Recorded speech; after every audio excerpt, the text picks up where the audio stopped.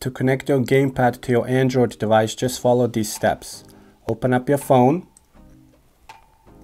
go to Bluetooth, turn it on, and then go to your uh, gamepad, press X and the home button until it flashes, like that.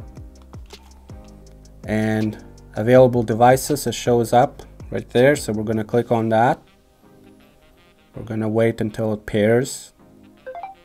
And then we're gonna Bluetooth pairing request, pair with gamepad, then we hit OK.